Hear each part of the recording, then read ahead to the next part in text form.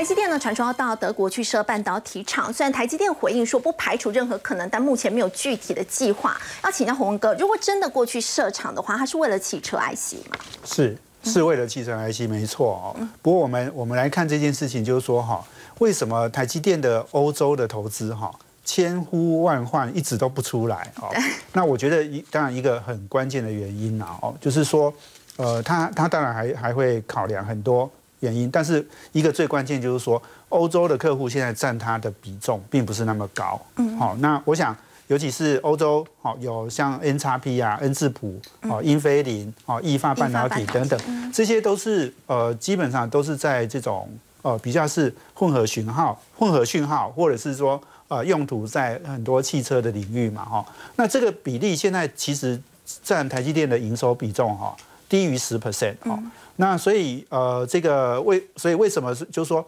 客既然客户的需求不是那么大，而且而且事实上呃这些呃用的制程技术它也都不是这么高端这么先进的，哦，所以呃台积电这个是我相信这是他做决策一个很重要的因素啦。那第二个因素当然就是说呃现在美国日本都在扩厂，而且美国扩充的呃比重哦是是又增加很多的，哦，所以也就是说。他事实上，他同时间要派很多人到海外去，哈，那是不是欧洲会让他又要再分分掉一些人去？那这个是不是也是一种考量？哈，但是我觉得就是说，